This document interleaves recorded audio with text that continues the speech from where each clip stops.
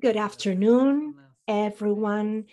At this hearing, I am opening hearing number 15 of the 185th period of session of the Commission, which is entitled Implementation of Pre uh, Precautionary Measures of Defenders, which was requested by the Centro de Justicia y Derecho Internacional, CEJIL, the Attorneys Collective José Alvear Restrepo Cajar, the Comité de Solidaridad con los Presos Políticos, CSPP, the uh, Comisión Colombiana de Juristas, CCJ, the Comisión Interesclesial de Justicia y Paz, the Corporación Instituto Internacional sobre Raza, Igualdad y Derechos Humanos, the Corporación Reiniciar, and the Corporación Cisma Mujer.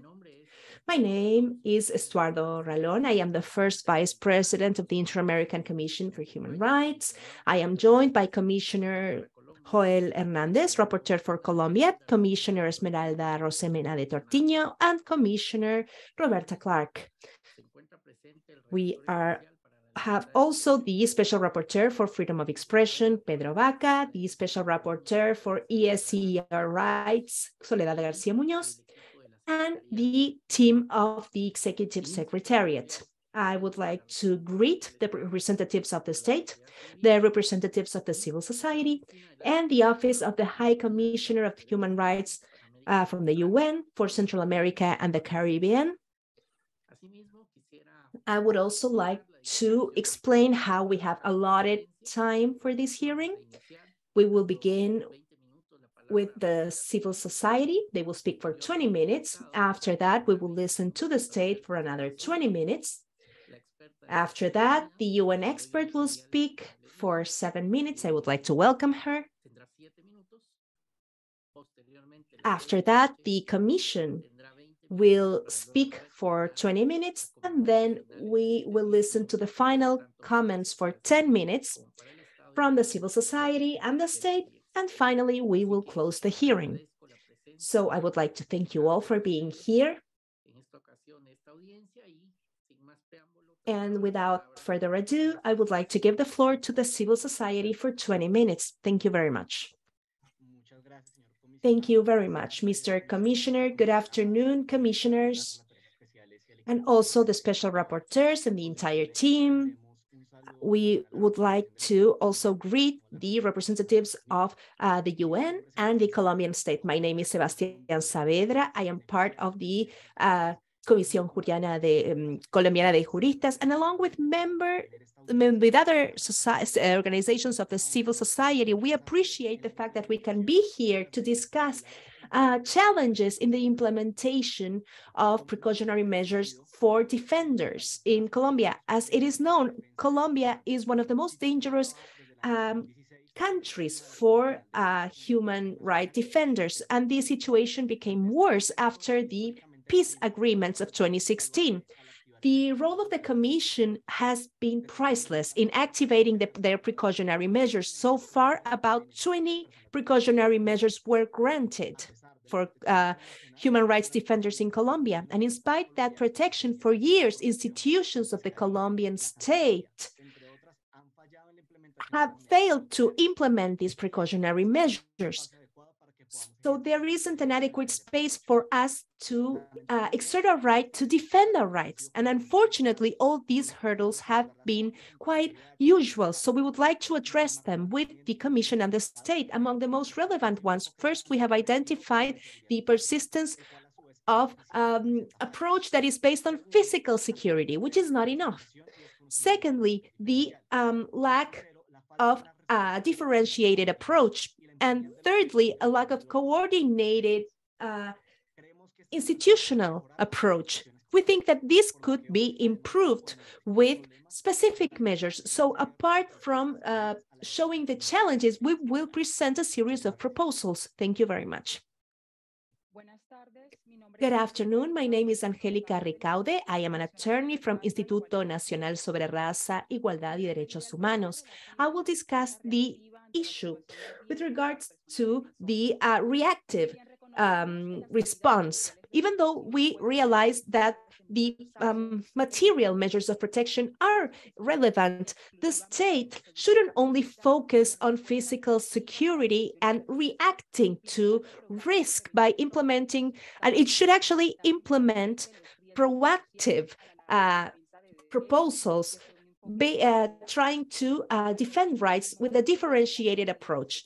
Also, when implementing these specific measures, there are several hurdles. First of all, when precautionary measures are granted and notified to the state, an internal proceeding uh, is established to examine the risk that was already checked by the uh, commission without uh, the state adopting actual measures um, ordered by the commission. Apart from that, the beneficiaries usually have a passive role, which is restricted to being interviewed by, an, uh, by analysts, but they are not able to um, express their opinion about the measures. Secondly, in spite of the agreements, many of these analysts have past or present links to public forces or uh, organizations of intelligence of the state, and that is not reported. The same thing occurs with individuals who are part of the escorts who are supposed to protect beneficiaries, even though beneficiaries have faced risks and um, human rights violations by that force of the state. And with regards to the element materials of these structures, many a time the elements are inadequate or in bad state. For example, um, bulletproof uh, vests are uh, damaged or cannot be adapted to the body of the person, uh, phone numbers that are that don't work, panic buttons that don't work. Uh, the, the gas price is not paid paid by the state, so beneficiaries have to pay for that, and even they are given GPS uh, devices that record their location. Also, uh, private companies are hired for this because they execute their contracts without considering a differentiated approach or the particular needs of the beneficiaries.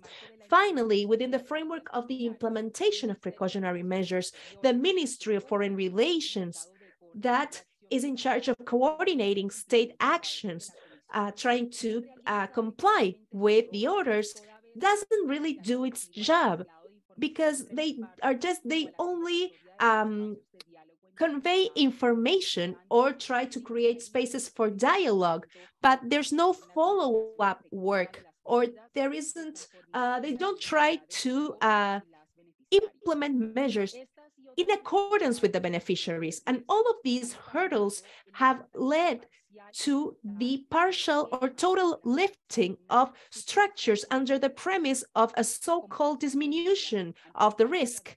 As a consequence, since no other protection measures are adopted, there is a de facto unilateral lifting by the state of the measures granted by the Commission, which endangers the lives and physical integrity of human rights defenders, thus forcing them and their representatives to present new, to file new um, uh, remedies and also facing newer risks. Hi, my name is Carolina Solano, and I will talk about uh, the differentiated approach and uh, the and the facts we see around impunity. One of the main difficulties we have identified in the civil society is the lack of an implementation of a differentiated approach in terms of gender and ethnicity when implementing the uh, measures. In the case of uh, Black communities, many a time the uh, protection measures do not have a holistic approach that consider the cosmovision of Afro-Colombian groups and their relationship to their territories. Among the main difficulties, we see that the group of escorts is not made up of individuals who inhabit in the same territory as the beneficiaries, so it is difficult for them to understand their particular needs.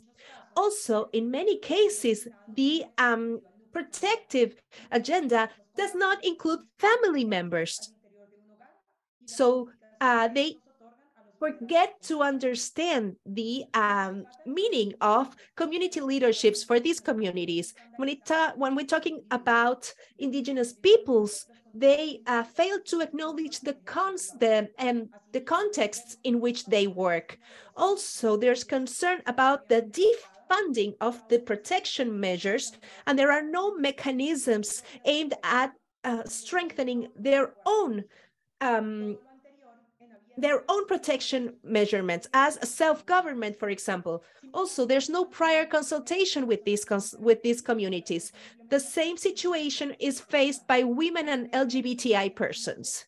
Now, because these uh, the protection is not given to their families. There is no differentiated approach as suggested by the commission that is not taken into account when implementing the measures. So even though there is a specific instance of women, we have identified that um, no women are, no, sorry, no measures are recommended with a gender approach. And in the case of precautionary measures for indigenous and Black women, the um, measures don't usually use a racial or ethnic approach. And the same occurs with women who live in rural areas because measures do not take into account their social and political context.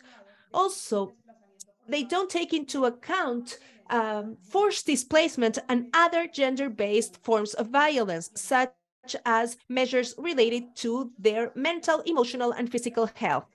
And the risk situation faced by women are increased by the stigmatization of the beneficiaries of precautionary members, uh, sorry, um, precautionary beneficiaries and their families, which um, repeat patriarchal and misogynistic practices. And impunity is um, a risk for human rights defenders in Colombia. A lack of uh, coherence between the uh, numbers presented by the public prosecutor and the ones recorded by NGOs show us that uh, the victims remain in a limbo. For example, the public prosecution investigates uh, assuming that the victims self-threat themselves or they say that the um, perpetrators are family members of the victims, and their only objective is to give a, uh, an answer to the media. Many a time, their um, responses are segmented because they forget the recurrence of threats. When we're talking about people who receive threats for five years, for example, and even though there are um, guidelines that are very specific. They only focus on material uh, perpetrators without thinking of intellectual authors. Also, there's a low activity of other control organizations that should be there to ensure the rights of human rights defenders.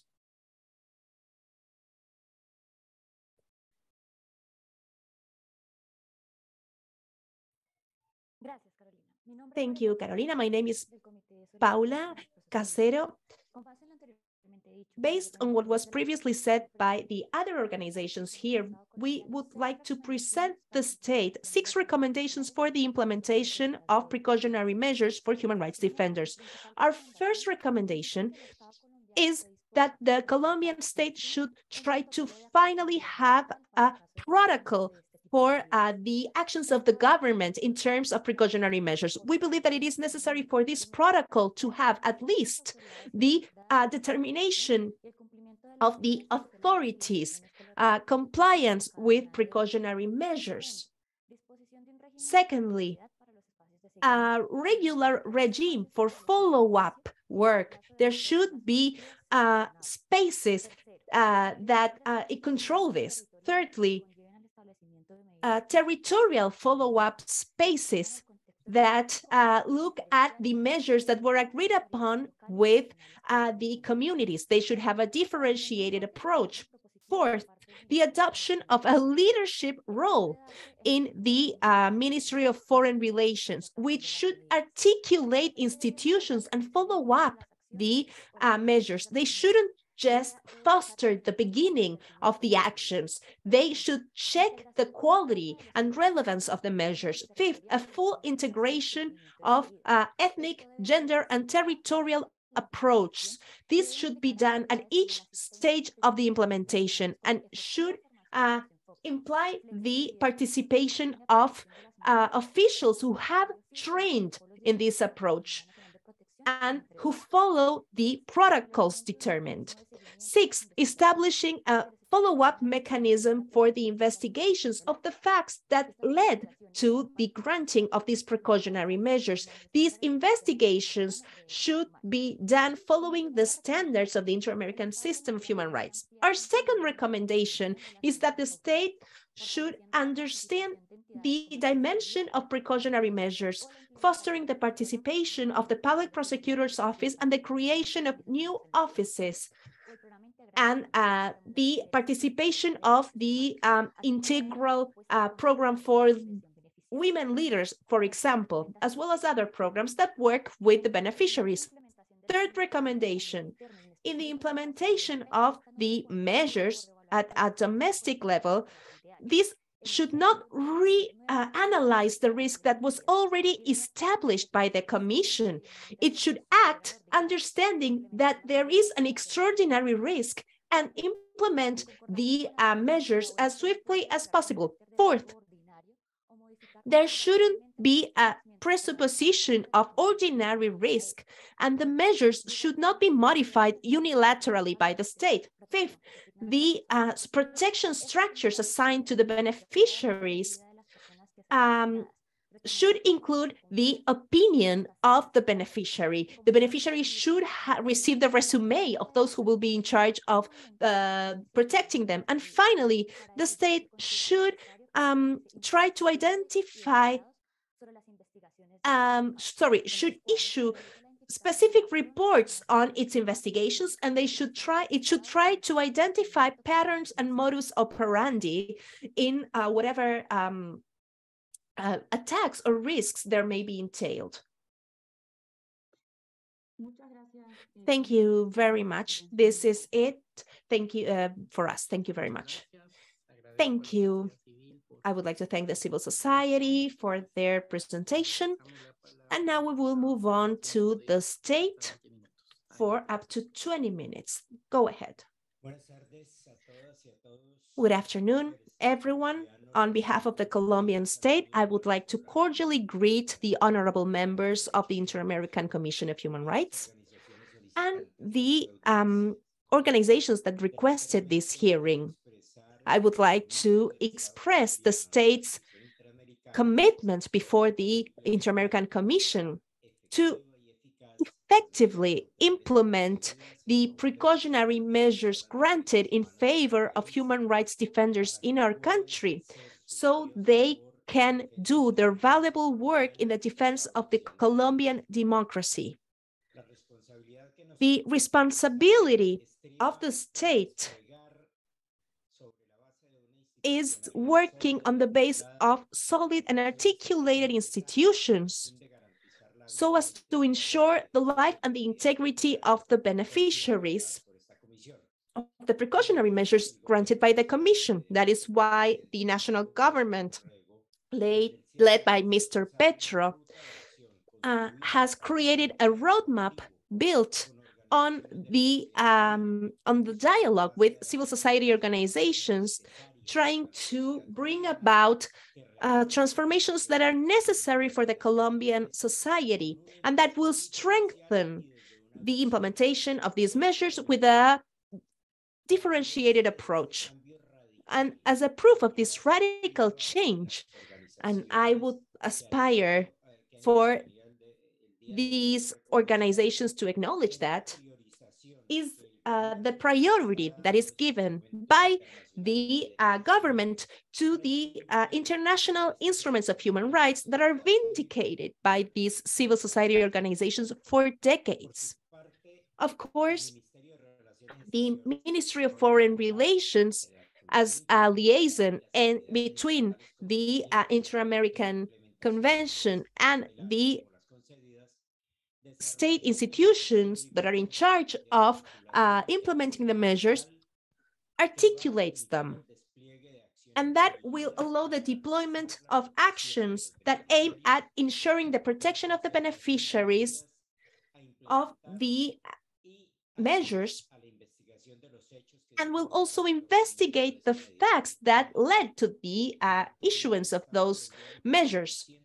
Colombia currently has 195 requests of information on precautionary measures, 99 precaution, uh, precautionary measures, and 37 are in favor of persons and institutions who are human rights defenders in Colombia. The state continues to work for uh, meetings uh, on the ground to bring about dialogue spaces between beneficiaries, um, petitioners, and institutions, trying to articulate the implementation of precautionary measures.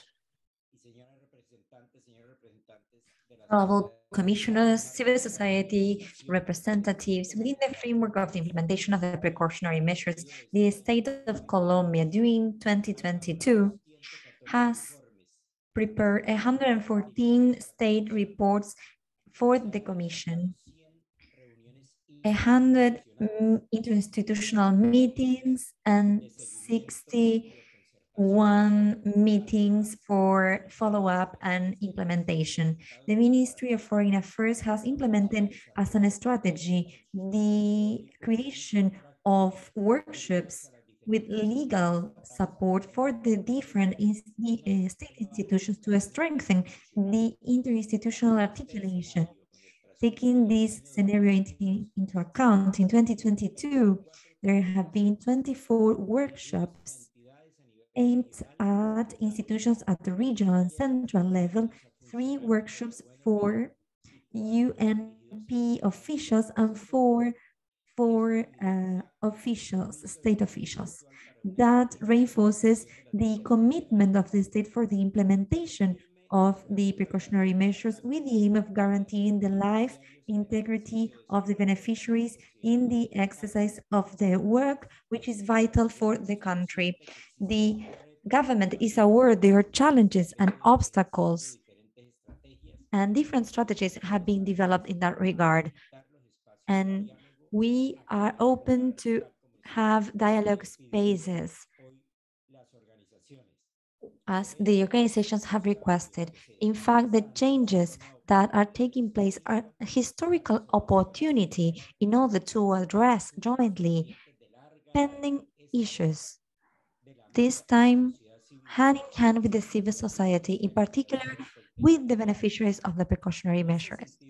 In that regard, the state of Colombia highlights its commitment in order to develop the necessary measures for the comprehensive implementation of measures granted, taking into account that their execution involves established procedures under the principle of complementarity of the system. That's why we have strengthened the process established to assess the risk of the beneficiaries when determining the measures for their protections as the National Unit of Protection will explain.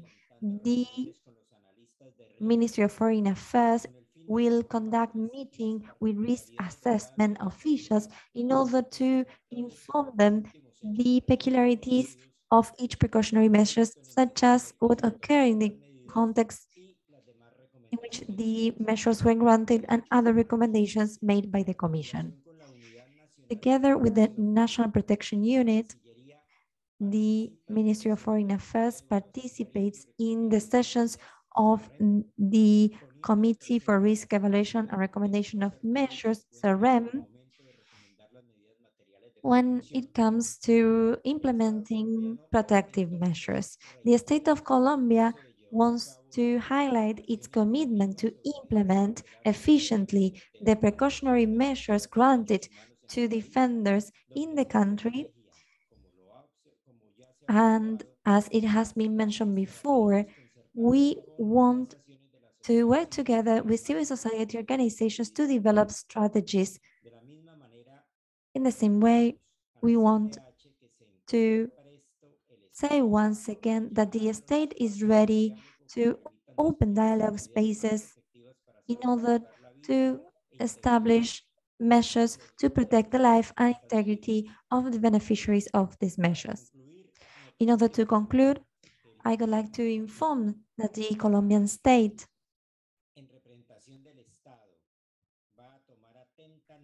is going to take down notes of what is being said by the petitionary organizations and is going to present a proposal to the Commission in order to improve their processes for the implementation of precautionary measures granted to human rights defenders. The organizations are right when they say that justice in Colombia, what they have said in the conclusion, justice is for those who need it the least. And organizations could say that those that had access the UNP were the ones that needed it the least. But this has changed, Honorable Commission, and we are going to show the commitment and the radical change we have made in that regard. I will now give the floor to the director of the UNP and afterwards the specialized director of uh, human rights violations of the Attorney General's office. Thank you. I would like to greet the members, commissioners of the Inter-American Commission and the requesting organizations.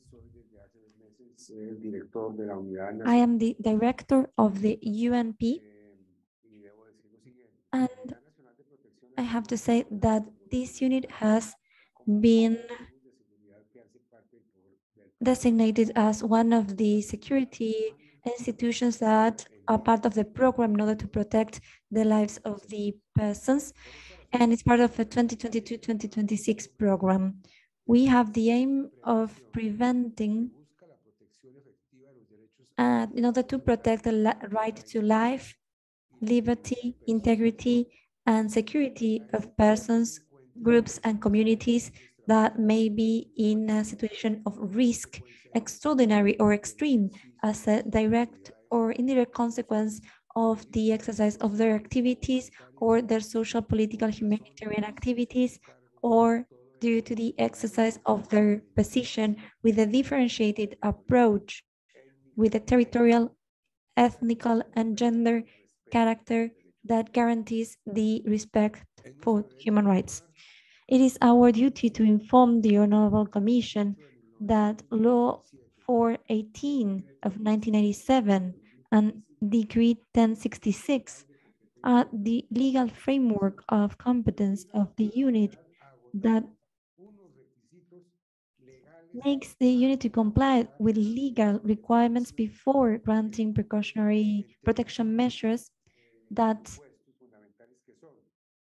include three main budgets, three main elements. The uh, requesting person has to belong to the community, to a particular community. Second, the existence of a situation of risk taking into account the parameters established of a sentence 719 of the Constitutional Court and the decree of 2015. Third, the proof of uh, potential relation between the risk and the uh, requesting person or community. This, if complied with this, the protection program is implemented. Taking into account what has been said, the UNP as a security body at a national level is in charge of developing strategies for the analysis and assessment of the risks, threats, and vulnerabilities that may allow for the implementation of measures for individual or collective uh, protection of the communities that are part of the program with a differentiated approach respecting the principle of consent, which implies that prior to granting a protection measure, the person or collective that is interested has to present a request expressing their will.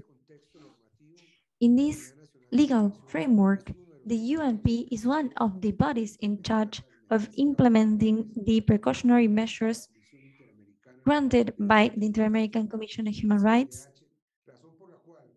Thus, the fulfillment of such recommendations have been developed together with concrete actions to improve the response to the recommendations that have been made regarding the implementation of precautionary measures granted to human rights defenders and organizations in Colombia. Once the Ministry of Foreign Affairs receives this information for the implementation of precautionary measures granted by the Commission, there's direct participation of the interested party and other uh, state bodies with competence, the UNP then, as soon as possible, activates the path to analysis to analyze the risk and makes recommendations that are considered by the Committee for Risk Evaluation and Recommendations of Measures, CERREM, which is a body made up by different national entities that decide what are the protection measures and complementary measures that are adequate and must be implemented. Among the different measures that the CERREM may determine, we can mention armored vehicles, conventional vehicles, fuel, protection guards, vests, self-defense uh, courses, national, international flight tickets, air or water transit, support means of communication, security technical systems, and the specific actions before the implementation of measures, we can inform the following. The UNP, within the framework of the precautionary measures granted by the Commission, since 2020 to the first semester of 2022, has participated in 320 meetings, follow-up and implementation meetings with the participation of petitioners and beneficiaries, interinstitutional meetings, bilateral meetings with the participation of uh, petitioners and beneficiaries internal meetings. The UNP in 2021 and in 2022 has implemented different orders which are, are being evaluated and also different risk assessments are being uh, developed at the moment.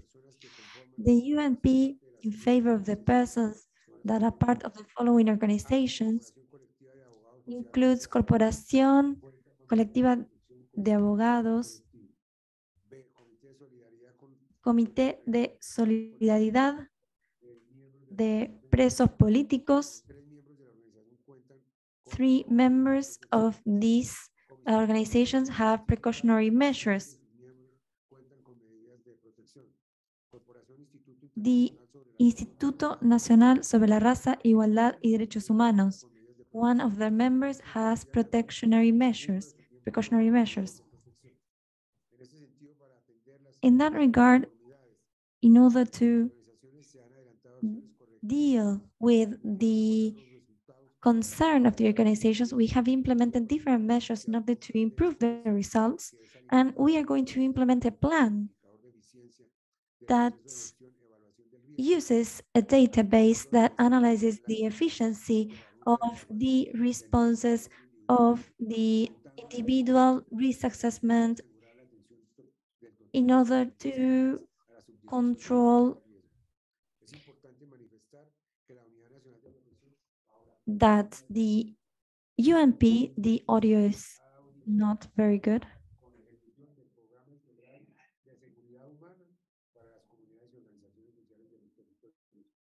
cual está basado en estrategias de diálogo The program is based on intercultural dialogue strategies that allows the a differentiated approach in order to guarantee the protection of the persons, uh, social leaders that are being attacked or threatened, overcome vulnerabilities and improve their capacities so that there are no risks for them. Thank you. Good afternoon, commissioners, representatives of the organizations, and participants of this hearing. First of all, I would like to express that the Attorney General Office has created a specific strategy for the investigation of crimes against human rights defender made up by different lines of actions that were presented before the Inter-American Commission in a public hearing in March 2017. Within the framework of the implementation of the strategy, the Attorney General's Office implemented a order in, in order to carry out strategies and uh, to investigate um, crimes of um, homicide and threats against human rights defenders. One of the main lines of actions was to move forward and strengthen the investigations of threats against defenders.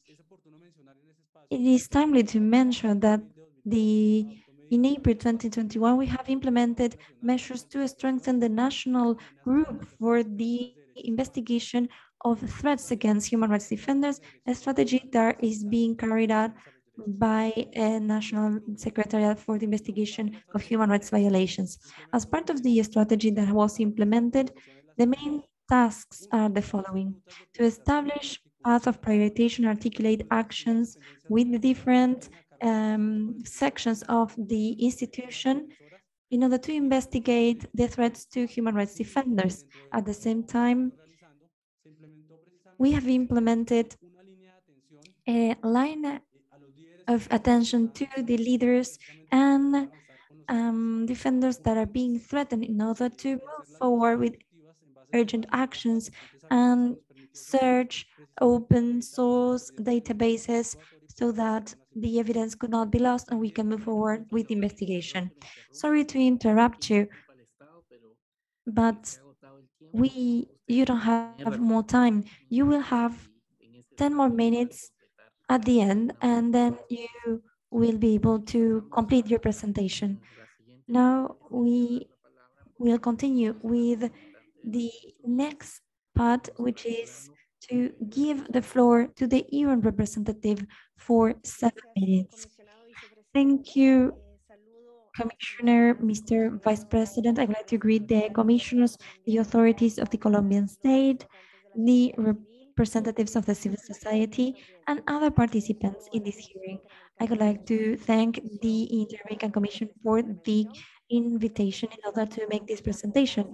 I am Montserrat Solano Carboni, and my participation in this public hearing is as um, Assistant uh, Secretary of the High Commissioner of the UN for Human Rights. I'm here to provide information in uh, orally with, and I'm not under oath, and my comments should not be understood as a waiver of the privileges and immunities of the UN.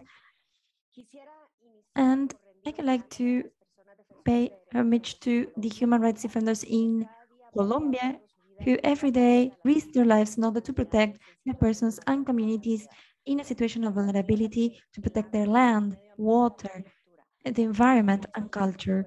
For those who fight for the promotion of women's rights and the LGBTQ plus uh, population, ethnic groups, and many, many more. This community of defenders is one of the most important elements of Colombia.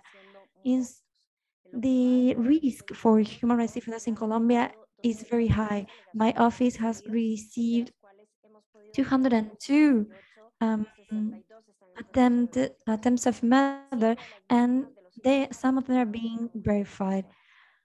Many of the victims were women.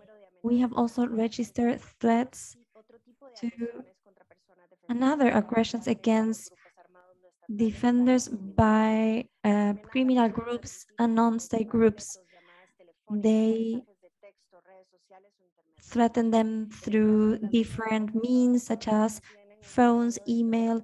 Women defenders, these threats have a sexual component or aimed other relatives. Attacks may even be um, attempts of murder. The seriousness of the threats has made victims to stop their defense activities, abandon their communities and leave the country. Between 2021 and 2022, the office has documented 1,911 threats and attacks. There's a high level of stigmatization of defenders even by state agents. The attacks to defenders are aimed at weakening the resistance of the communities before armed agents that want to um, control the territories. In many cases, they have threatened traditional um, members, um, members of the indigenous guards, and to damage the social fabric.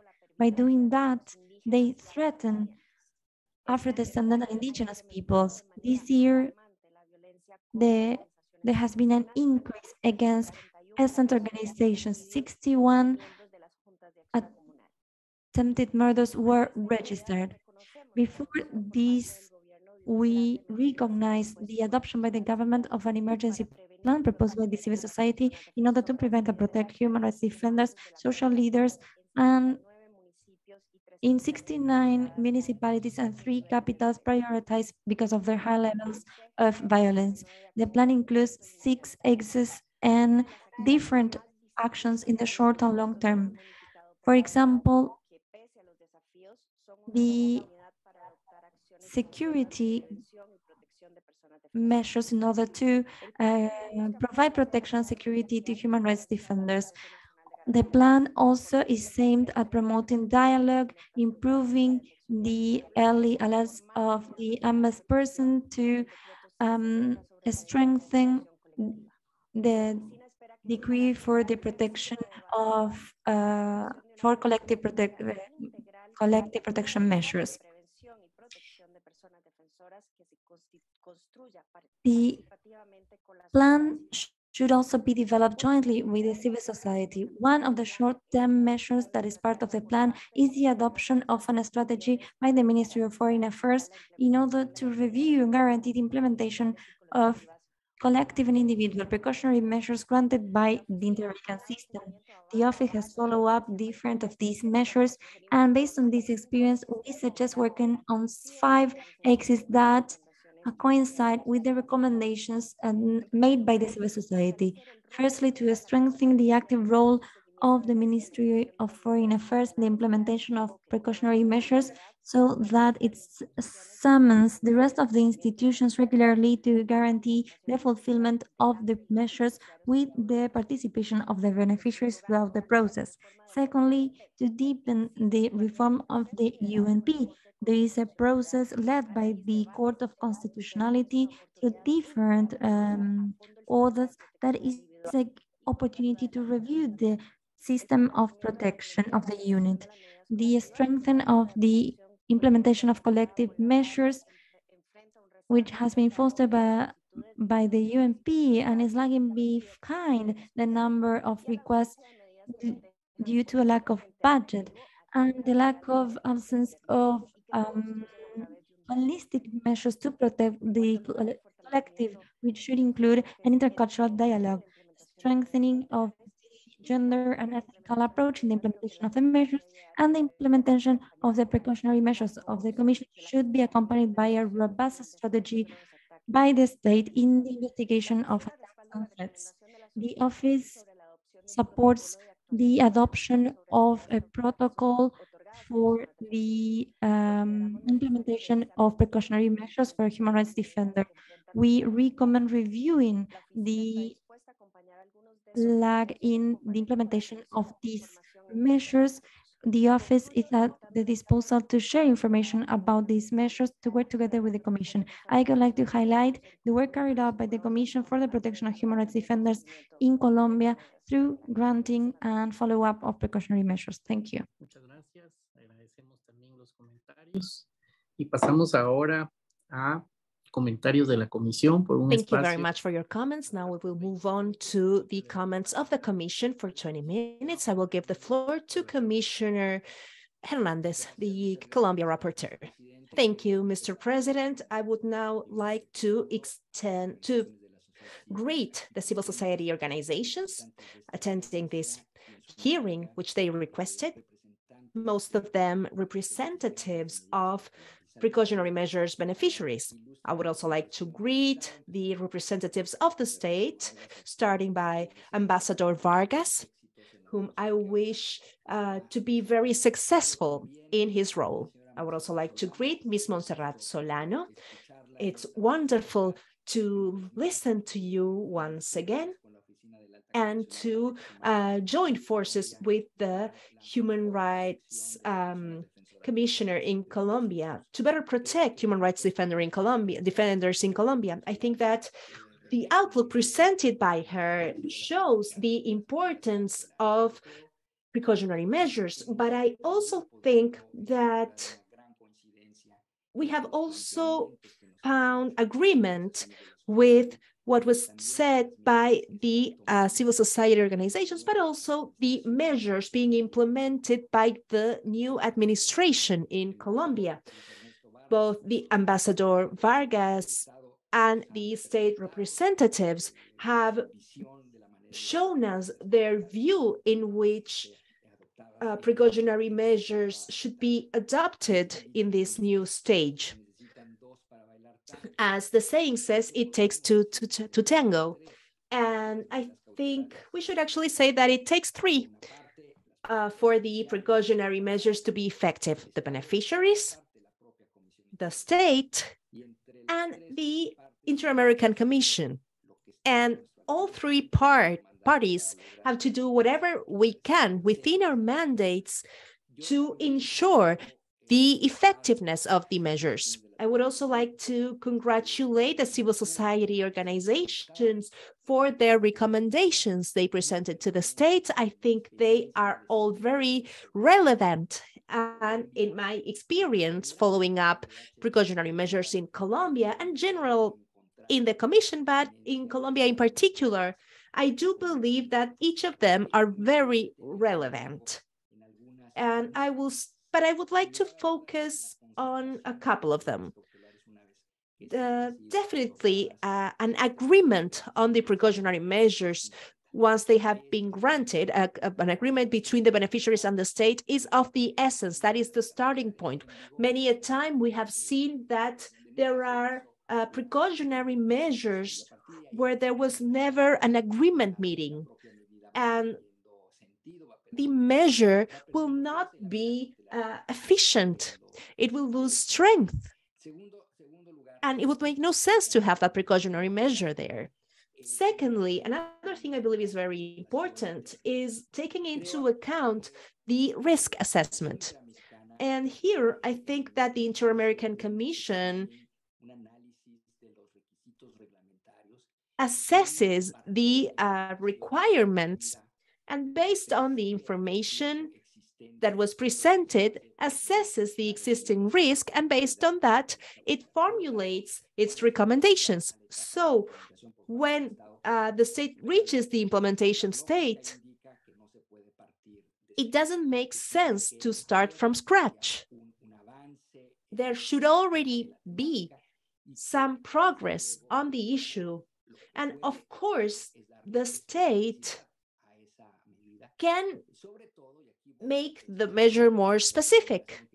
And this takes me to my third recommendation, especially with a differentiated approach. We have also learned throughout the past few years how important it is to uh, use differentiated approaches, in particular in the case of Colombia, where we have seen the risk of the situation of many human rights defenders, social leaders, indigenous leaders, where the ethnic or racial factor is fundamental for the accuracy of the measures. And for example, that has to do with the agreement there should be between beneficiaries and the state to determine the better protection agenda, including the selection of the escorts who should be uh, trustworthy for the beneficiaries.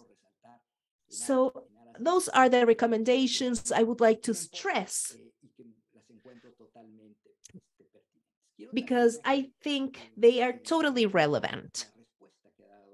I would also like to appreciate the answer presented by the state and the uh, agreement I have seen in both parties because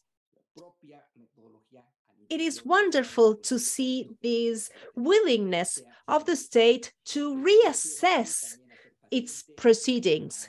I would also like to convey the um, the uh, willingness of the commission to have more dialogue with the state. There's already there was a meeting with the between Commissioner Mantilla, our president, and the vice minister in Colombia, Laura Gil. I met virtually with Ambassador Rojas, the human rights director of the Ministry for Foreign Relations, to discuss precautionary measures. And I think that these initial uh, meetings will move on and turn into a more extensive dialogue on the entire human rights agenda with a specific emphasis on precautionary measures. With regards to the Commission, uh, we believe that the precautionary measures are very important. There are 99 existing precautionary measures for Colombia. Out of them, 69 of them are in favor of human rights defenders. So 70% of those measures are for human rights defenders. And of course, that um, makes sense if we consider the existing risk, as Ms. Montserrat explained. The Commission has already has also been reviewing its own methodology for precautionary measures, specifically after the adoption of Reg uh, Regulation 2 2020, where it established a follow-up methodology for uh, precautionary measures. That is how we took on our responsibility to effectively follow up precautionary measures. We have started to uh, take several steps. Unfortunately, the pandemic, it seems like a cliche, right? But it is a fact. After we adopted Resolution 2 2020, the world uh, became uh, shut down and we couldn't work on follow up as we wanted to back then. But this year, we started to um, do follow up work on site on March and April. There was technical work done with teams, both in meetings with the state as in meetings with the representatives around the most urgent precautionary measures. I myself was in Bogota in April this year, where I had six working meetings for meetings for eight precautionary measures to foster uh, their compliance or their fulfillment. And I would like to uh, stress that this dialogue was agreed upon with the previous administration, and it was very fruitful and it was very protective and it gave the commission it meant for the commission um, a driver to continue to work on following up on precautionary measures.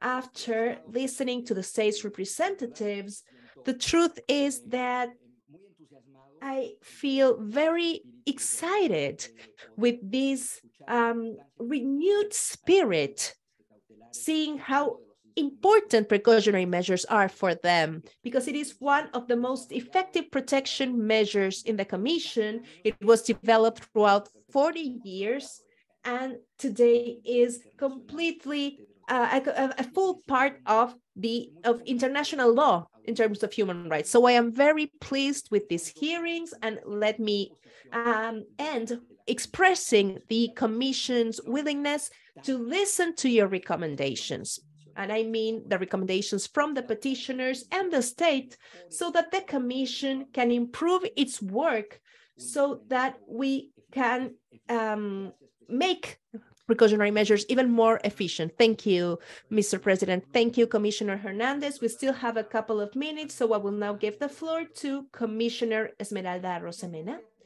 Thank you, Mr. President. Good afternoon, everyone. I would like to uh, greet the representatives of all these organizations here with us that are presenting all of these. The issue of precautionary measures is like the jewel of our crown, right, at the Commission. And we are deeply committed to these tools being effective and efficient. Thank you so much for the work you do. The issue of human rights defenders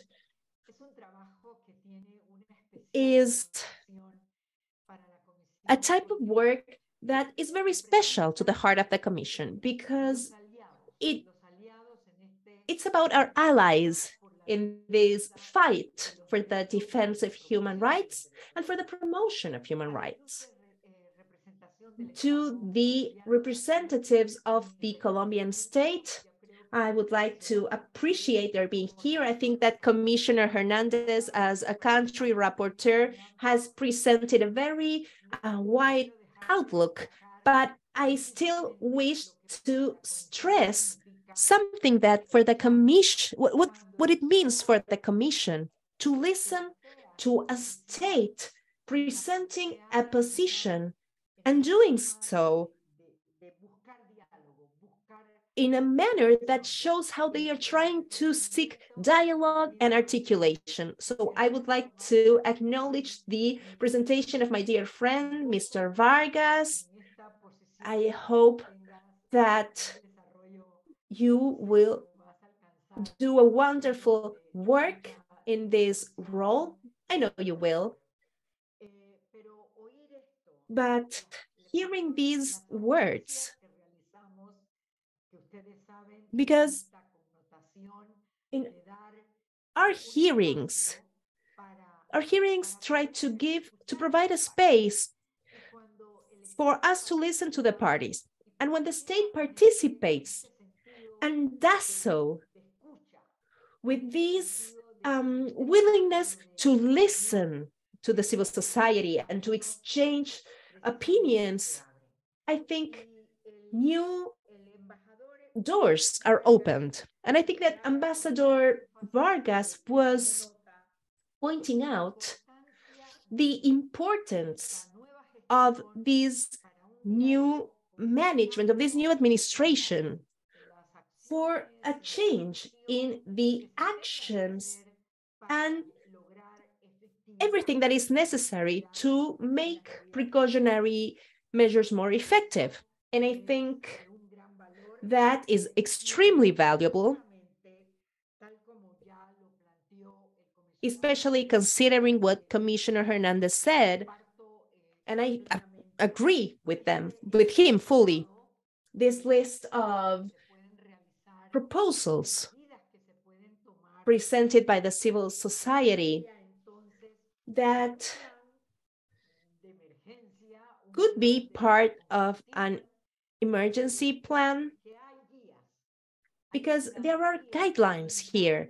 There is a, there are guiding principles here for the work that can be done to get what we want, which is precautionary measures being effective with this comprehensive approach, considering uh, the differences or adjustments needed. I only have one question for the state. When we talk about that regulatory framework that implies the context that should be taken into account by the protection unit, do you believe it would be important to make adjustments so that this strengthens the unit and strengthens the legal answers and the con normative context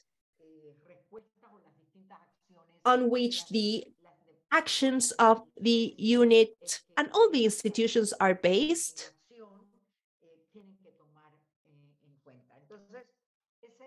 So that, that would be my comment, Commissioner and President of the hearing.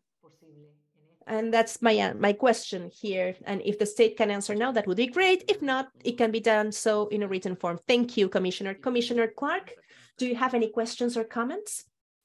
Thank you very much, Commissioner Ralón, and good afternoon, everyone. I want to thank, join my uh, fellow commissioners and thank the participants here this hearing for all of the valuable information and also for the very frank dialogue.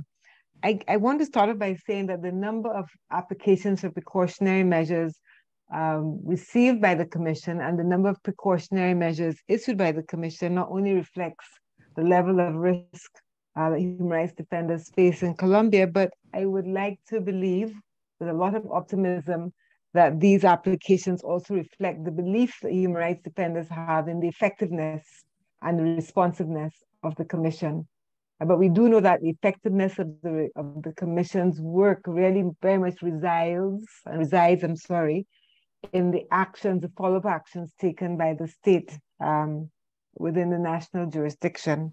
So I welcome the uh, the the the act the, the, the words of Ambassador Vargas and his team when they when he says that the state of Colombia is committed to effectively implementing the precautionary measures between the state um, participants, uh, representatives, and uh, civil society organizations here. I think that there's quite a bit of um, accord or agreement on the challenges of implementing precautionary measures effectively. And these include delay. And I think the delay in part is related to the, um, I, I would say, I suppose the duplication or the re, um, the, the, the rethink on the risk assessments, which the state does, there seems to be some agreement that there's insufficient coordination among state agencies in relation to the protection of human rights defenders, that there's a lack of specificity sometimes uh, in the in the, the framing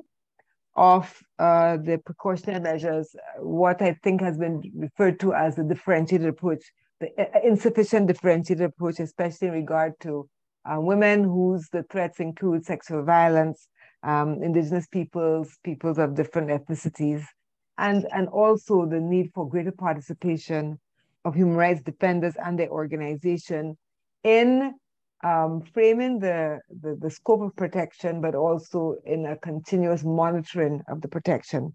So I want to just ask two questions, um, I think, of the state and civil society. One uh, related to the role of beneficiaries and human rights defender organizations.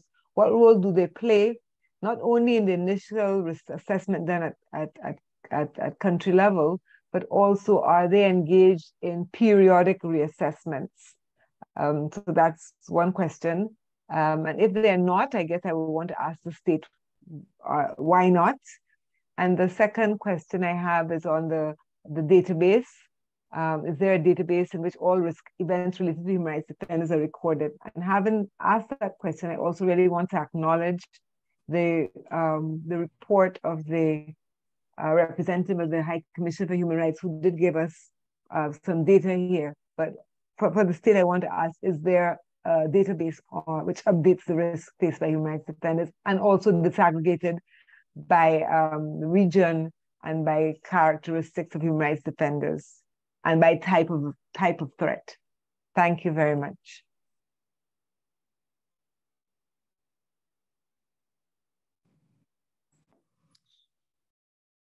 Muchas gracias, Thank you very much, Commissioner Clarke. Since um, we have uh, five, we will have five more minutes in the end of a session. I will use them, and now I will give the floor for two and a half minutes to Rapporteur Pedro Vaca. Thank you, Mr. President. Um, I know how important this hearing is for many of its participants. So first, I would like to uh, acknowledge that uh, chain, a chain of protection uh, in Colombia is very sophisticated. It has saved many lives, but the legal investigations are still pending. Maybe um, something could be discussed to see if there are good practices from the um, public prosecution or the general attorney's office um, for those who need protection. And secondly, uh, this is for the protection authorities in the executive. This has to do with the lifting of protective measures. What's the criteria for the lifting of these measures? And will they all be part of the ongoing revisions? For example, what happens uh, when there's a weakening of the measures of people who might be at risk. Thank you very much, Mr. President. Thank you very much, Rapporteur. And I will try to keep it brief and say, first of all, that I would like to acknowledge human rights defenders in Colombia and the organizations that do that work facing high risk. And I think we should acknowledge that.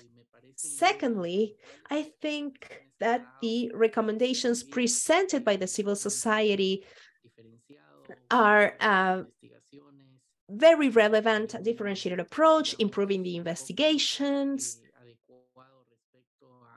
an adequate approach in terms of differentiated effects, and also, I would like to highlight the answer of the state in terms of their willingness for dialogue.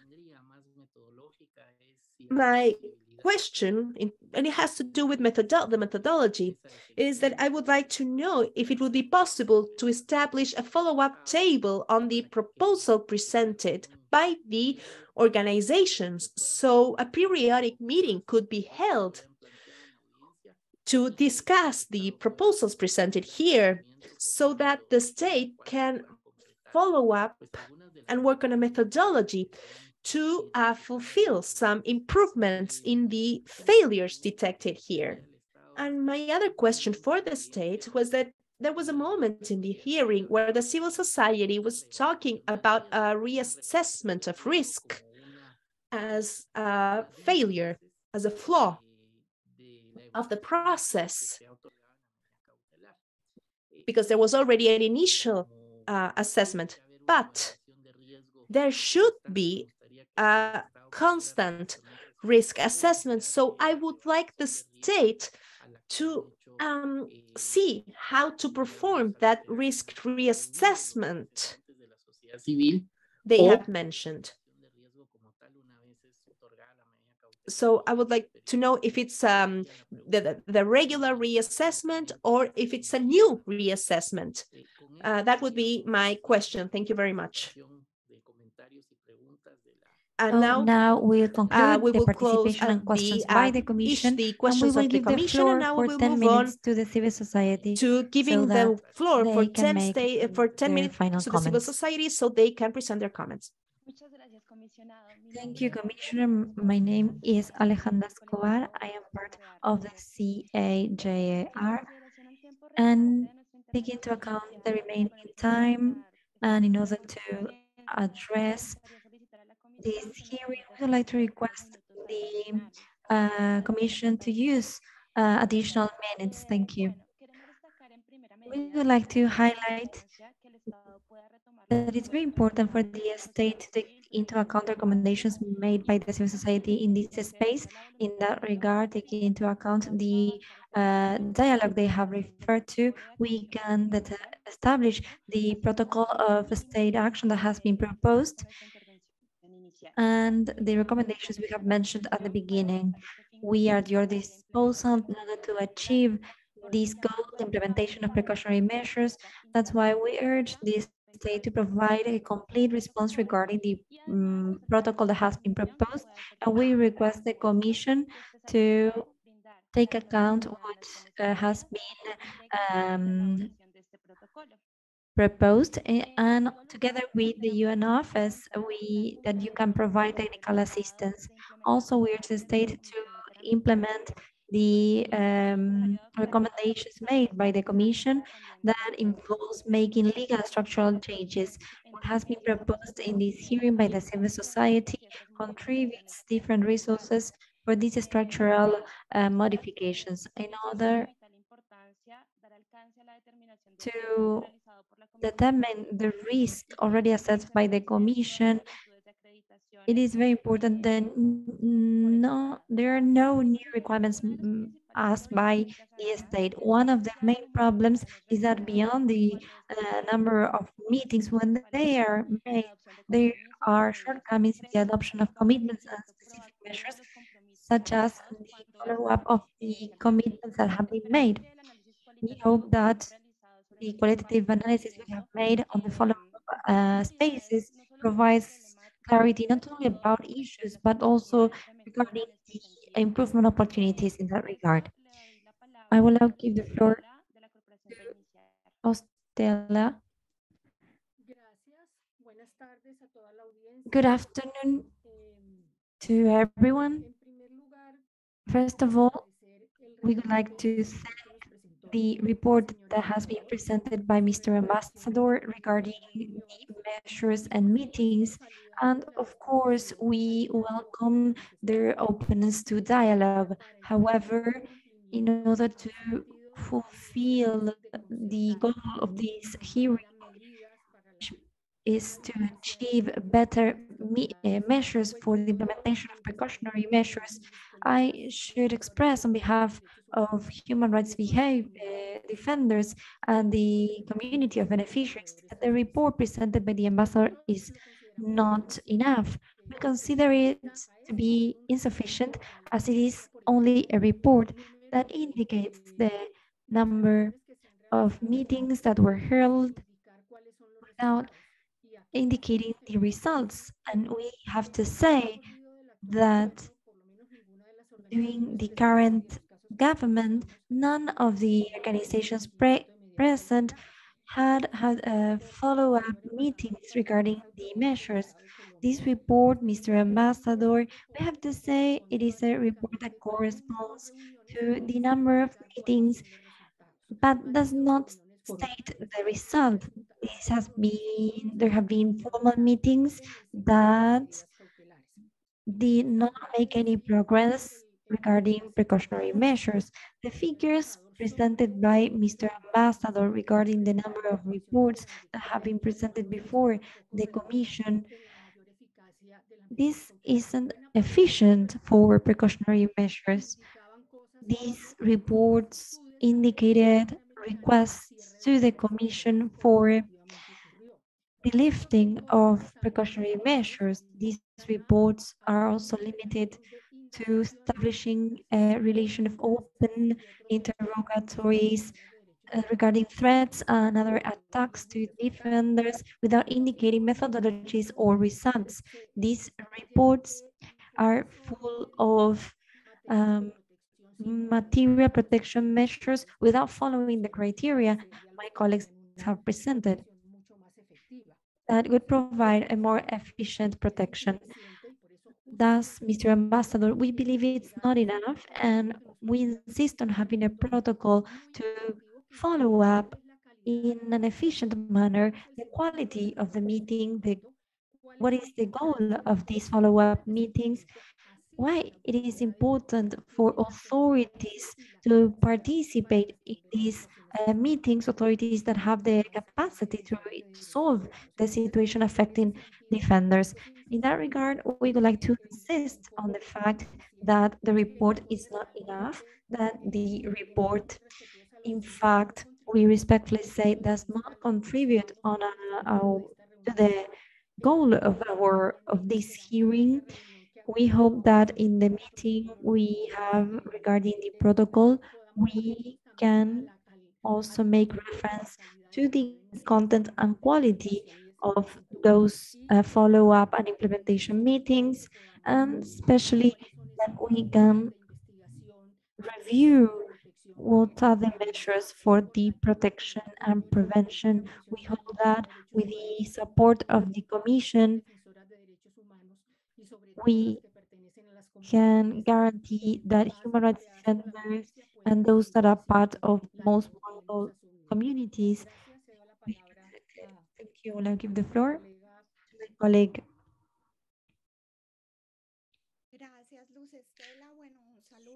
Thank you, Luz Estela. I would like to greet everyone present. As we do not have much time, I will like to react on three things. Firstly, the uh, general consideration regarding protection in terms of the state's duty according to international standards. Secondly, some elements regarding the functioning of the UNP, which uh, I consider to be important, taking into account what my colleagues have already mentioned.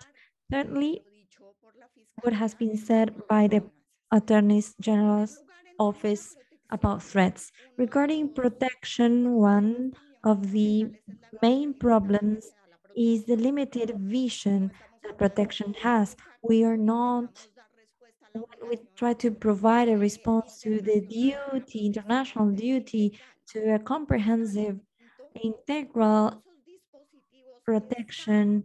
And there are many devices that are institutionalized that are part of the Colombian state in order to look for that domestic protection, integral protection, which are not being applied. There is no articulation or collaboration and then there is a limited vision. Uh, it depends on what the UNP does.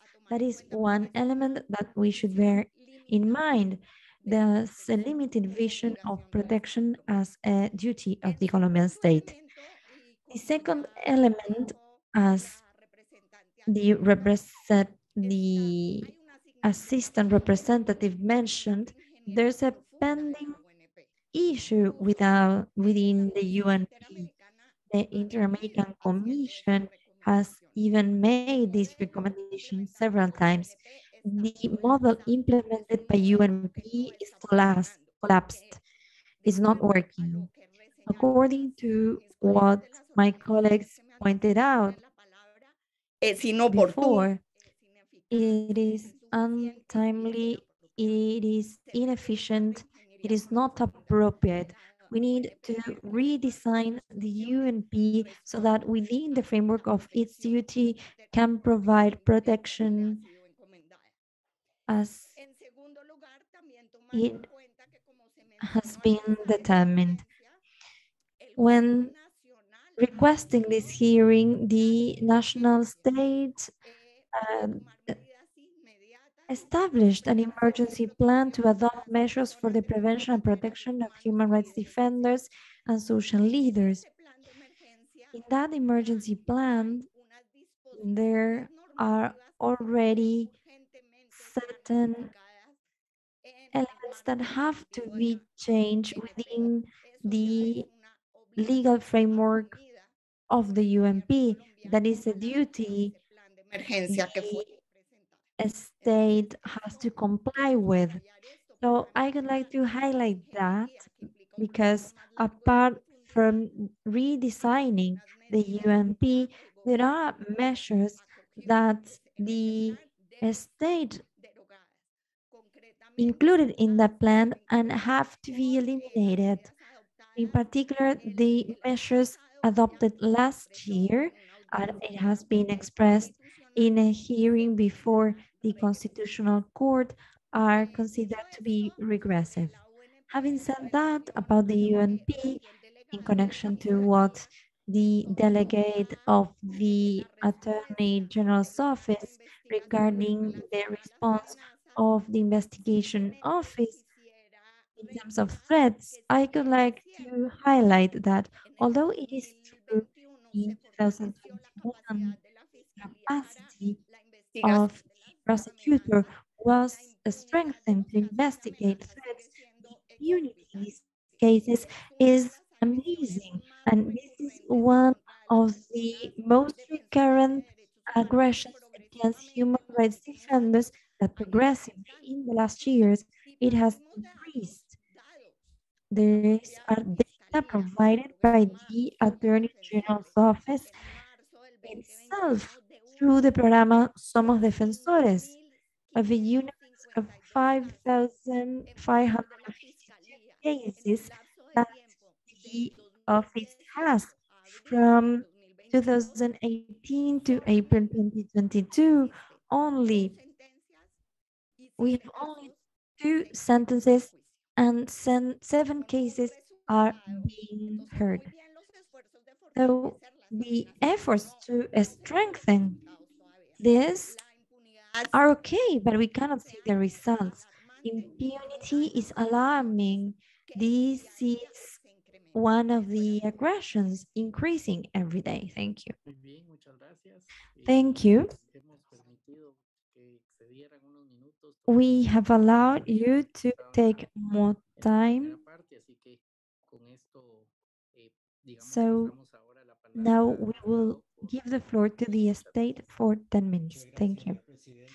Thank you, Mr. President. And before giving the floor to the Attorney General's office to conclude its presentation, I would like to say that it's a great pleasure to listen to the proposals made by the commissioners and the ones made by the civil society. We have taken down notes. The role of the beneficiaries of the organizations to participate in these projects. We are going to link this as Commissioner Clarke has requested, and we will try to map the uh, places where risk is higher. I am sure that we are going to develop a protocol for the protection with the beneficiaries, but also knowing Dr. Augusto Rodriguez, who is in charge of UNP, who is an expert in human rights, I'm sure that now we won't have uh, studies carried out twice, that the evaluation made by the Commission is going to be respected by UNP. And we are committed to participate in meetings with petitioners, and we will work closely with the analysis made by CERREM. And we welcome a follow-up and frequency of the meetings will be presented before the Commission.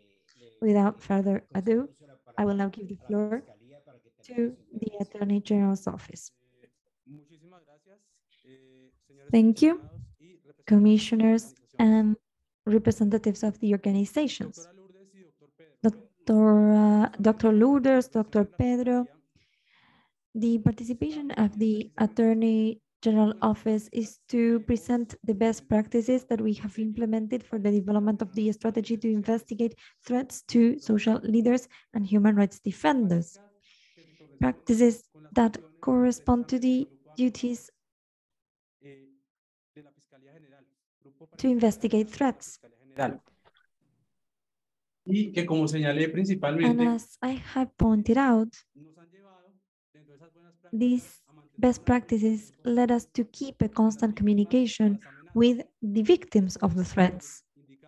As I have said, we have two channels that work 24 7 in order to deal with threats so that we can act urgently and in order to preserve the evidence.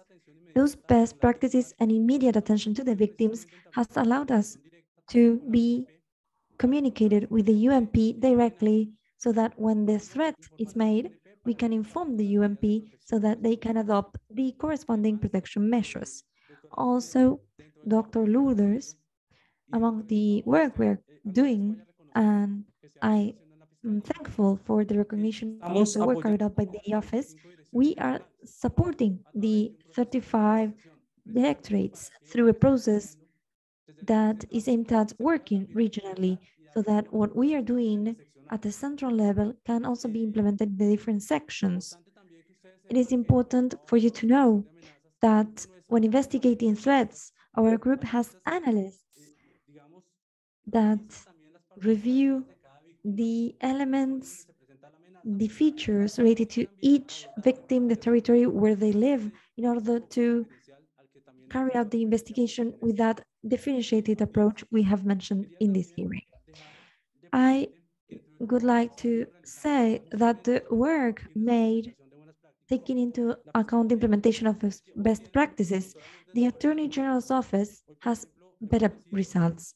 I can say, Lourdes, that now we have 11 um, sentences. Six cases have been solved through the principle of opportunities, through an agreement between the parties. We were able to determine the person responsible for the threat, and that person, let's say, made an agreement with the victim, the person being threatened, and the process concluded. We have 55 cases that have already uh,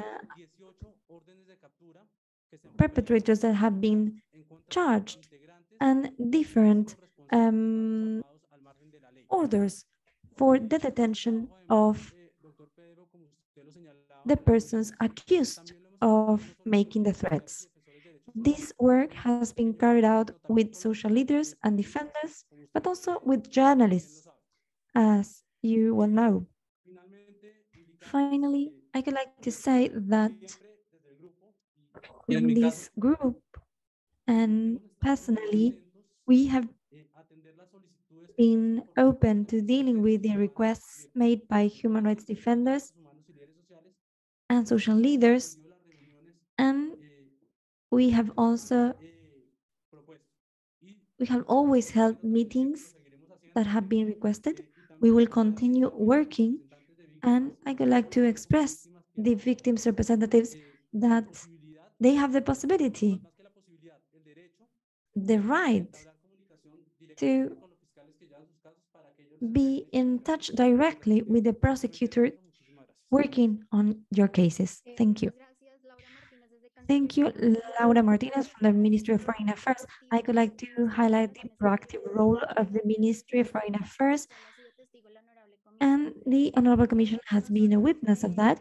And as an internal group, as the ministry, we are available 24-7 for the petitioners throughout the years. This is translating in more of 150 meetings lasting from two to three hours, others up to six hours. So this is not a figure. This is the work we make when there are threats or risks. We try to respond in the better possible way before these risks. We know that this is our responsibility. These are serious situations and an irreparable harm may occur. It's important to highlight that because the mechanism deals with both elements or structural changes that the government has implemented and they are timely mechanisms it is important to highlight that the Ministry of Foreign Affairs has convened different monitoring meetings, bilateral meetings with the petitioners present here today since August the 7th.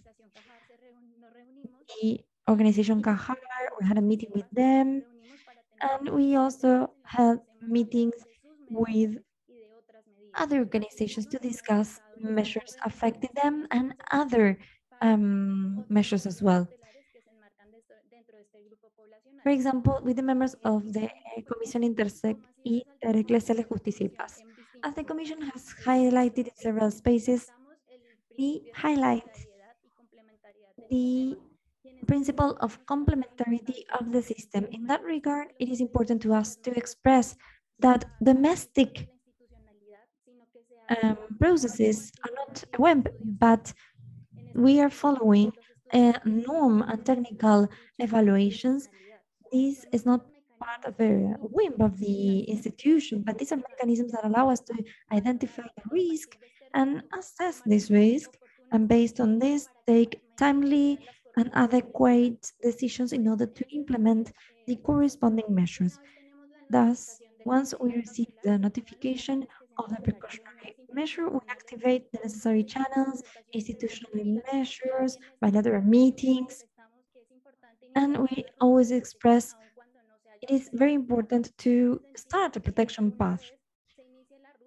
Once this path is open, the principle of consent is key for this protection process to be started. We have to follow all legal procedures in order to provide the necessary protection measures. It is very important for the Ministry of uh, Foreign Affairs to be available 24-7. Now, we will now give the floor to the UNP. Thank you. I could like to say that we are making adjustments within the legal framework. We are studying the technical difficulties and that's why we have started a process of normative modifications that have to do. Thank you. Thank you to the estate. I'm sorry, but we have run out of time. You can send your comments in written. I could like to, to thank everyone. We have another hearing afterwards. That's why we have to conclude and adjourn this hearing. I would like to thank the civil society, the UN representative, the state for your valuable information. We will follow up through the country rapporteur and the monitoring system. Thank you, and I adjourn this hearing.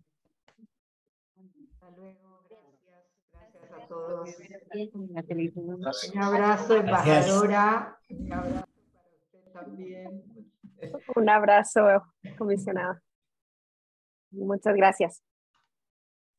Gracias, Montserrat. Gracias a todos los comisionados. Embajador, un placer. Un placer haberlos Muchas visto de gracias. nuevo. It's a pleasure.